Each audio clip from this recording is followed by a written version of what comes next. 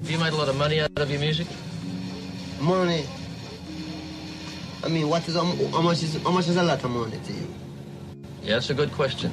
Have, have you made, say, millions of dollars? No.